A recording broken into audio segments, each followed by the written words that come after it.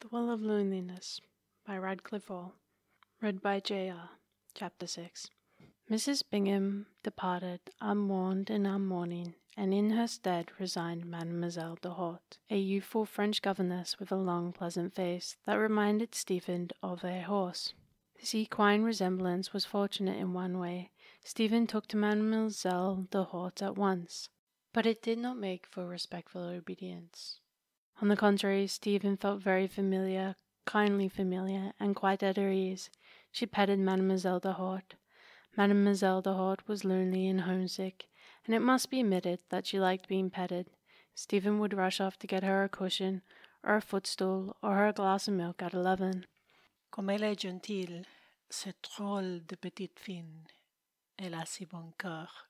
Would think Mademoiselle Duphot, and somehow geography would not seem to matter quite so much, or arithmetic either. In vain did Mademoiselle try to be strict. Her pupil could always beguile her. Mademoiselle Duphot knew nothing about horses, in spite of the fact that she looked so much like one, and Stephen would complacently entertain her with long conversations, ament, splint, and spavins, cow hocks, and colic, all mixed up together in a kind of wild veterinarian jumble. Had William been listening, he might as well have rubbed his chin, but William was not there to listen. As for Mademoiselle Duphot, she was generally impressed. Mais quel type, quel type. She was always exclaiming, Vous êtes déjà un vrai petit Amazon, Stephen, n'est-ce pas? agreed Stephen, who was picking up French. The child showed real ability for French, and this delighted her teacher. At the end of six months, she could gabble quite freely, making quick little gestures and shrugging her shoulders. She liked talking French. It rather amused her, nor was she adverse to mastering the grammar. What she could not endure were the long, foolish dictees from the edifying Bibliothèque Rose.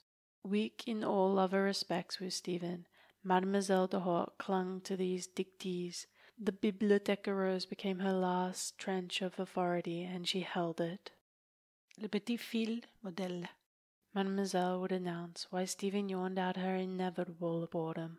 Maintenant, nous allons retrouver Sophie. Where did we arrive? Ah oui, I remember. Ce peur de confiance toucha Sophie et aumenta encore son regret d'avoir été si méchante. Comment se dit-elle euh, J'ai pu me livrer une telle colère? Comment j'étais si méchante avec des amis aussi bons que celles que j'ai dit? Et si radie envers une personne aussi douce, aussi tendre que mademoiselle de Fleury. From time to time, the program would be varied by extracts of an even more edifying nature, and Les bons enfants. would be chosen for dictation to the scorn and derision of Stephen. La maman, donne-lui ton corps, mon Henri, c'est ce que tu pourras lui donner de plus agréable. Mon corps, dit Henri en déboutonnant son habit et en ouvrant sa chemise. Mais comment faire? Il me fraudait un couteau. At which Stephen would giggle. One day she had added a comment of her own in the margin. Little beastie, he was only shamming. And Mademoiselle, coming on this unawares, had been caught in the act of laughing by her pupil. After which there was naturally less discipline than ever in the schoolroom, but considerably more friendship. However, Anna seemed quite content, since Stephen was becoming so proficient in French, and observing that his wife looked less anxious these days, Sir Philip said nothing, biding his time. This frank-hornty, slacking on the part of his daughter, should be checked later on, he decided. Meanwhile, Stephen grew fond of the mild-faced Frenchwoman, who in her turn adored the unusual child. She would confide her troubles to Stephen, those family troubles in which governesses abound. Her mamma was old and delicate and needy. Her sister had a wicked and spendthrift husband, and now her sister must make little bags for the grand shop in Paris that paid very badly. Her sister was gradually losing her eyesight from making those little bead bags for the shops that cared nothing and paid very badly. Mademoiselle sent Mamma a part of her earnings, and sometimes, of course, she must help her sister. Her mamma must have her chicken, and on Sundays. Bon Dieu, il faut vivre, il faut manger au moins. And afterwards, that chicken came in very nicely for petite marmite, which was made from its carcass, and a few leaves of cabbage. Mamma loved petite marmite. The warmth of it eased her old gums. Stephen would listen to these long dissertations with patience and apparent understanding. She would nod her head wisely. Mais c'est dur, she will comment. C'est terriblement dur, la vie.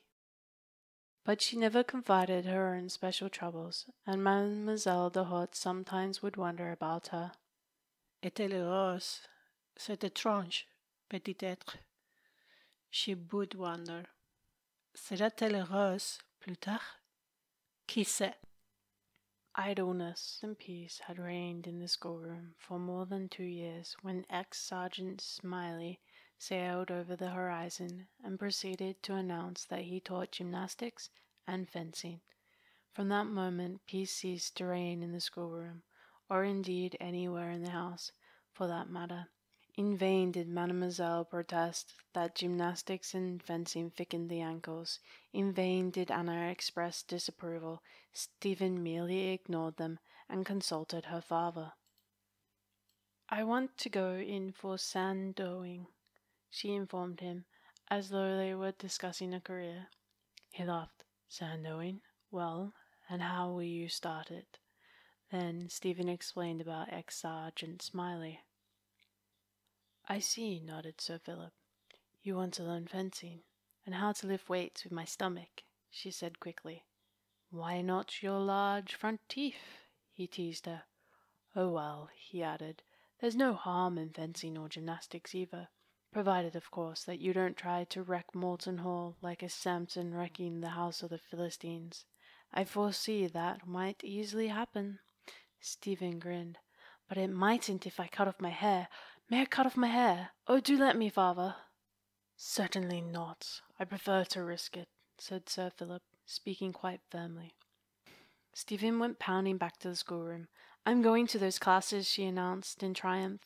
I'm going to be driven over to Malvern next week. I'm going to begin on Tuesday, and I'm going to learn fencing so I can kill your brother in law, who's a beast to your sister. I'm going to fight duels for wives in distress like men do in Paris. I'm going to learn how to lift pianos on my stomach by expanding something, the diaphragm muscle, and I'm going to cut my hair off, she mendaciously concluded glancing sideways to observe the effect of this bombshell.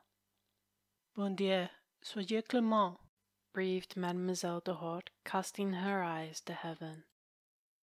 It was not very long before ex Sergeant Smiley discovered that in Stephen he had a star pupil.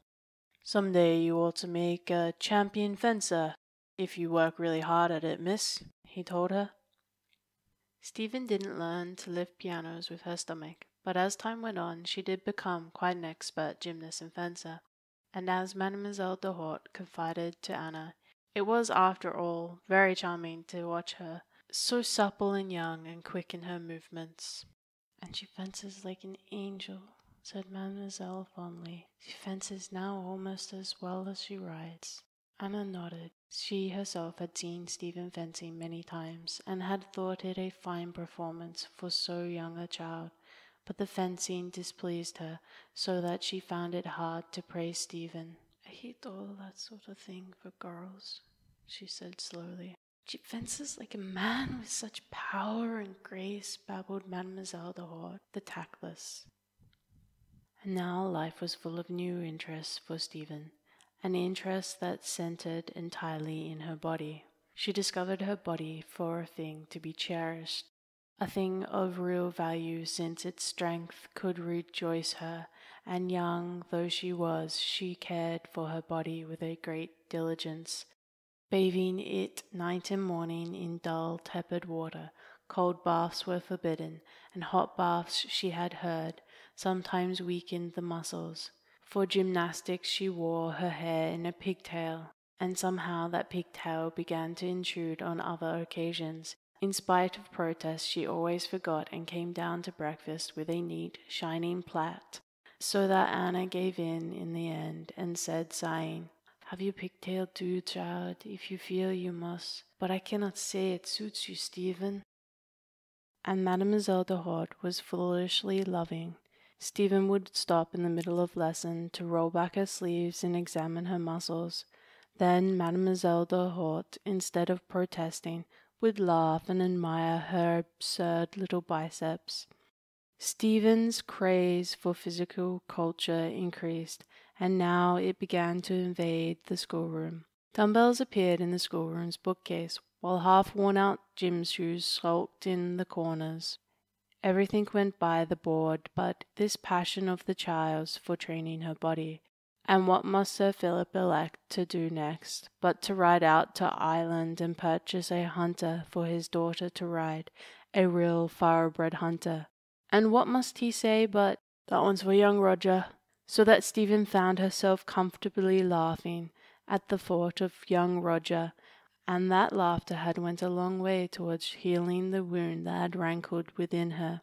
Perhaps this is why Sir Philip had ridden out to Ireland for that thoroughbred hunter.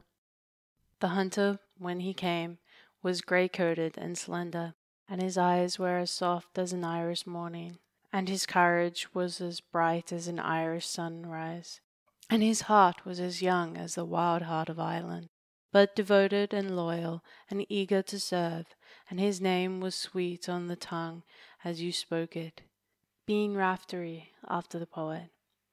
Stephen loved Raftery, and Raftery loved Stephen. It was love at first sight, and they would talk to each other for hours in the loose box, not in Irish or English, but in a quiet language, having very few words but many small sounds, and many small movements, which in both of them meant more than words. And Raftery said, I will carry you bravely, I will serve you all the days of my life. And she would answer, I will care for you night and day, Raftery, all the days of my life. Thus Stephen and Raftery pledged their devotion, alone in the fragrant hay scented stable, and Raftery was five and Stephen was twelve when they solemnly pledged their devotion. Never was a rider more proud or more happy than Stephen when first she and Raftery went a hunting. And never was a youngster more wise or courageous than Raftery proved himself at the fences. And never can a Belphin have thrilled to more daring than did Stephen astride of Raftery that day, with the wind in her face and the fire in her heart that made life a thing of glory at the beginning of the run, the fox turned in the direction of Morton, actually crossing the big north paddock before turning once more and making for Upton. In the paddock was a mighty upstanding hedge, a formidable place concealing timber. And what must they do, these two young creatures, but go straight at it and get safely over? Those who saw Raftery fly the hedge could never afterwards doubt his valour. And when they got home, there was Anna waiting to pat Raftery because she could not resist him.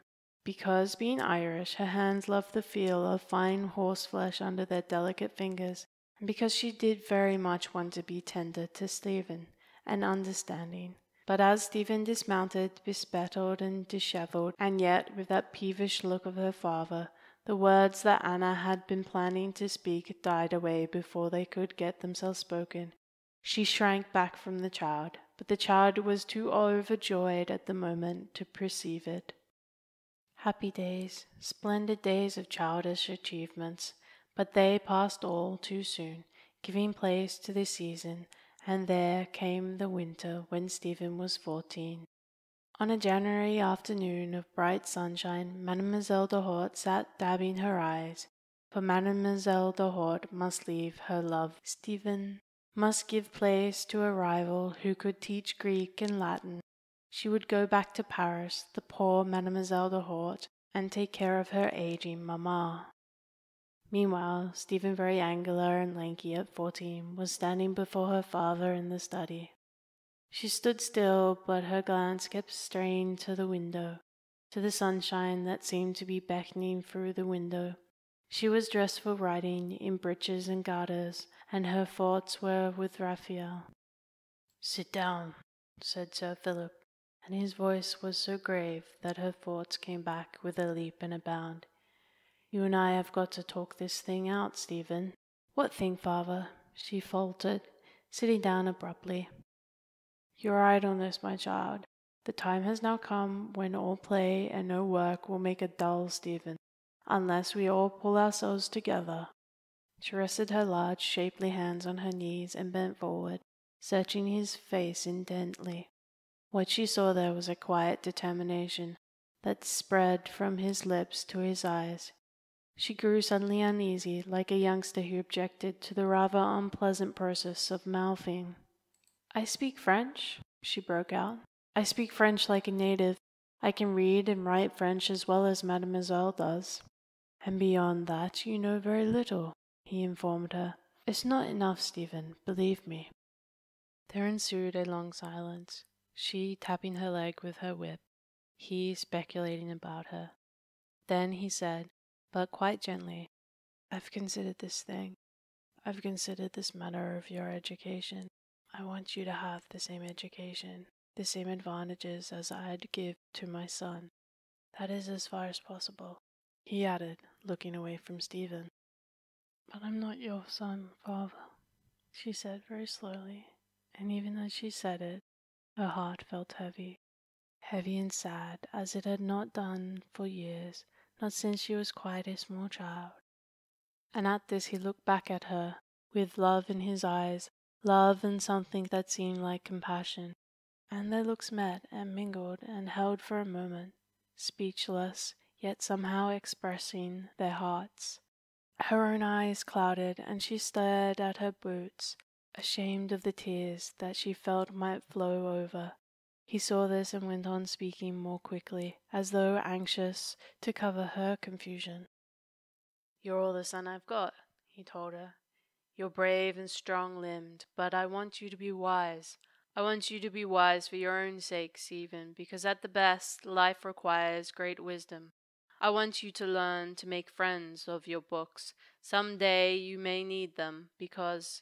He hesitated. Because you mayn't find life at all easy. We, none of us do, and books are good friends. I don't want you to give up your fencing and gymnastics or riding. But I want you to show moderation. You've developed your body, now develop your mind. Let your mind and your muscles help, not hinder each other. It can be done, Stephen. I've done it myself, and in many respects you're like me. I've brought you up very different from most girls. You must know that. Look at Violet Antrim.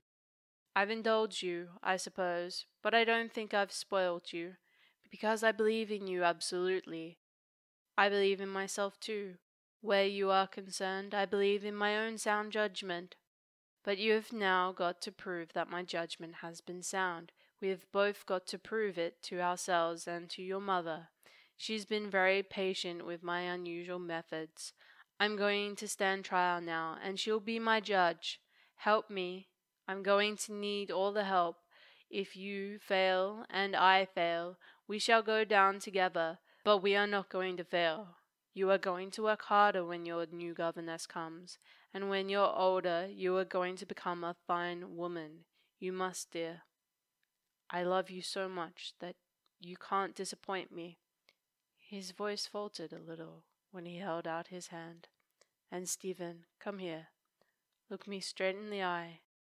What is honor, my daughter? She looked into his anxious, questioning eyes. You are Honor, she said quite simply. When Stephen kissed Mademoiselle Duphot goodbye, she cried, for she felt that something was going that would never come back. Irresponsible childhood. It was going like Mademoiselle Duphot, kind Mademoiselle Duphot, so foolishly loving, so easily coerced, so glad to be persuaded, so eager to believe that you were doing your best in the face of the most obvious slacking. Kind Mademoiselle de Duphot, who smiled when she shouldn't, who laughed when she shouldn't, and who was weeping, but weeping as only a Latin can weep, shedding rivers of tears and sobbing quite loudly. Chérie, mon bébé, petit chou. She was sobbing as she clung to the angular Stephen. The tears ran down on Mademoiselle's tippet, and they wet the poor fur, which already looked jagged, and the fur clung together, turning black with those tears, so that Mademoiselle tried to wipe it. But the more she wiped it, the wetter it grew, since her handkerchief only augmented the trouble, nor was Stephen's large handkerchief very dry either, as she found when she started to help. The old station flyer that had come out from Malvern drove up, and the footman seized Mademoiselle's luggage. It was such meagre luggage that he waved back the assistance from the driver and lifted the trunk single handed. Then Mademoiselle Duphot broke out into English, heaven only knew why, perhaps from emotion. It's not farewell. It shall not be forever, she sobbed. You come, but I feel it, to Paris. We meet once more, Stephen. My poor little baby, when you grow up big, we two meet once more. And Stephen, already taller than she was, longed to grow small again, just to please Mademoiselle. Then, because the French are a particular people, even in moments of real emotion, Mademoiselle found her handbag and groped in its depths. She produced a half sheet of paper. The address of my sister in Paris, she said, sniffing. The address of my sister who makes the little bags. If she should hear of anyone, Stephen, any lady who would care to buy one little bag. Yes, yes, I'll remember, mumbled Stephen. At last she was gone, the fly rumbling down the drive and finally turning the corner. To the end, a wet face had been thrust from the window, a wet handkerchief waved despondently at Stephen. The rain must have mingled with Mademoiselle's tears, for the weather had broken and now it was raining. It was surely a desolate day for departure, with the mist closing over the Severn valley and beginning to creep up the hillside. Stephen made her way to the empty schoolroom, empty of all save a general confusion, the confusion that stalked in some people's trail. It had always stalked Mademoiselle Duphot. On the chairs, which stood crooked, lay odds and ends meaning nothing crumpled paper, a broken shoehorn, a well worn brown glove that had lost its fellow, and likewise two buttons. On the table, a much abused blotting paper, from which Stephen had torn off the corner, unhidden.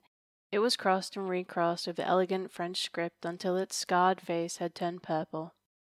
And there stood the bottle of purple ink, half empty and green round the neck with drips, and a pen with a nib as sharp as a pin point, a thin, peevish nib that jabbed at the paper.